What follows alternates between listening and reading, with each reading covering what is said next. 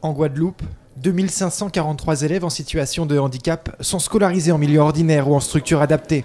Les pratiques d'inclusion des enfants en situation de handicap font l'objet de réflexions depuis ce lundi la semaine de l'école inclusive rassemble les acteurs concernés 15 ans après la loi sur le handicap qui prévoit l'égalité des chances. La particularité de cette semaine, c'est de mêler euh, les publics. Nous avons euh, le personnel de l'éducation nationale, ça passe par le médecin, l'infirmière, le, le, CPE, l'inspecteur, le principal ou le proviseur, et également le personnel du médico-social qui sera présent. Les enseignants, quelquefois, nous disent leur désarroi ou se sentent démunis. Chaque situation demande une analyse et une réponse. Aujourd'hui, tous les acteurs se demandent comment on peut faire, comment on peut mieux faire. Professionnels de santé ou acteurs de l'éducation nationale, ces deux corps de métiers distincts sont donc invités cette semaine à croiser leur expertise. Le but Permettre une scolarité réussie à tous les enfants quelle que soit leur situation.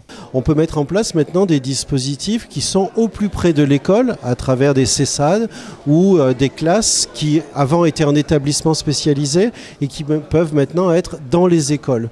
Donc on voit bien qu'il y a des possibilités administratives, organisationnelles euh, qui vont favoriser l'école inclusive.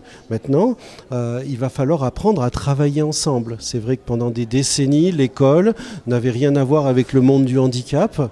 Les écoles maintenant euh, sont euh, dans une situation où elles vont devoir travailler avec d'autres professionnels qui ne sont pas issus du monde de l'école. Et là, il y a une culture commune à construire. Une culture commune à construire dans une société plurielle où chaque différence se transforme en richesse dès les bancs de l'école.